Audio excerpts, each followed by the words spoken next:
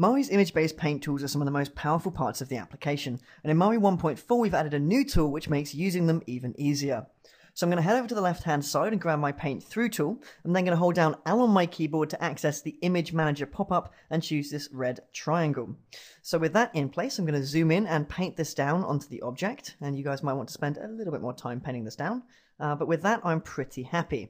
Now, what I really want to do at this point is see that painting with respect to the entire object. So ideally, I need to zoom out. However, if I zoom out at this point, because the buffer is essentially stuck to the screen, the image gets bigger as well, which is not what we want.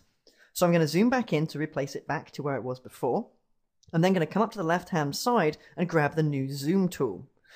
The zoom tool allows you to zoom the camera out from the model, but the buffer remains the same size. So actually zooming out from both here, and you can see that I get to see my painting with respect to the entire OBJ.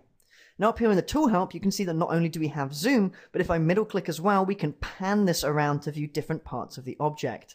This is also a keyboard control, so you can hold down Control or Shift and use the minus or plus keys to zoom in and out of your painting. So that is the brand new Zoom Buffer tool within Mari 1.4.